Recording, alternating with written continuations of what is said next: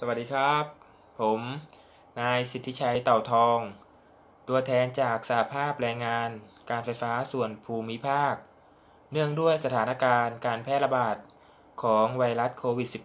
-19 ผมในฐานะสมาชิกสหภาพแรงงานการไฟฟ้าส่วนภูมิภาค ขอให้กำลังใจกับคณะแพทย์พยาบาล รวมถึงเจ้าหน้าที่ทุกคนที่ปฏิบัติงาน ดูแลรักษาผู้ป่วยจาก ไวรัสโควิด -19 น่วงด้วยวันที่ 1 พฤษภาคมของทุกปีเป็นวันแรงงานแห่งชาติ